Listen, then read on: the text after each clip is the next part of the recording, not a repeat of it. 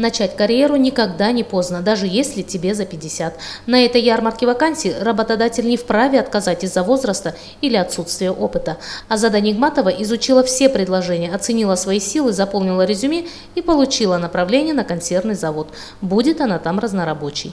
Я уже долгое время пытаюсь найти работу, но куда бы ни обращалась, получала отказ из-за возраста. Четыре месяца назад зарегистрировалась в отделе занятости как безработная. И вот сегодня, наконец, мне предложили работу. Я уже получила направление. Две тысячи человек пришли на ярмарку вакансий. Среди них есть и те, кто только вчера закончил вуз. Есть и те, кто не с одним высшим образованием и многолетним опытом работы. Правда, трудовой рынок диктует свои условия, и за бортом могут остаться даже те, у кого очень хорошее резюме. Я сама учитель по специальности, но в связи с переездом хочу найти другую работу. Услышала о ярмарке, но не нашла здесь для себя подходящего варианта. Думаю оставить свое резюме. Сегодня постоянную работу на ярмарке получили 300 человек.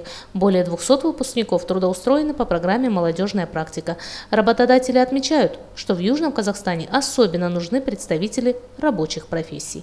Превалируют технические специальности. Это токари, это газоэлектросварщики, это слесари, это монтажники, это строители и так далее, и так далее. В основном технические специальности. Гуманитарных, значит, мало. Гуманитарно в основном дают значит, э, сфера образования.